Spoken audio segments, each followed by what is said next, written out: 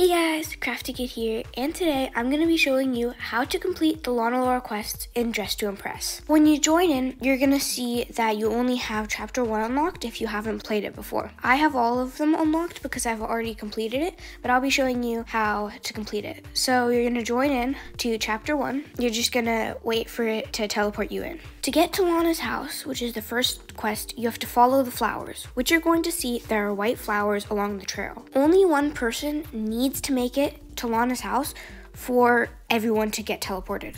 Once you get to Lana's house, you're gonna see that there's a cutscene. After the cutscene, you're gonna have to find her things and bring it up to her room, which is on the second floor. You have six lives, and each time you die, you're gonna lose half a life. I'll be showing you all of the key locations and how to get everything. So the first one I'm gonna show you is inside the kitchen. I like to go around the back of the house because it avoids the monster. The first one will be in the red key will be inside the cooking pot, and you're gonna collect that and then come outside and come over to this little vent basement. Once you unlock the door, you're going to come over to this box over here and you're gonna collect the journal. Once you have the journal in your hand, go up to Lana's room. The next one is behind these boxes. You're going to find the pink key. Be aware that, there is that little monster over there. So if it gets you, then you're going to lose a life. I like to turn off jump scares just because it helps me. But you'll turn off in settings up in the top left corner.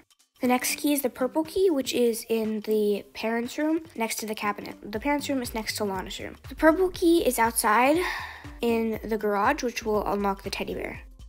The teddy bear will be under the wood planks over in the corner. Since I'm with other people, I didn't get all of them, but the blue key will be on the barn up the ladder and you'll get it in here. The green key is in the living room over next to the plant. The green key goes in the attic, which is on top of the parents' room. You're gonna get the Greek Tales book, which is over here in the corner. So you're gonna deposit all your stuff at the suitcase in Lana's room. I didn't get to get this one, but you're gonna find the camera in the parents' office, which is the blue key, and you'll find the blue key in the barn up the ladder. So that is how you complete part one.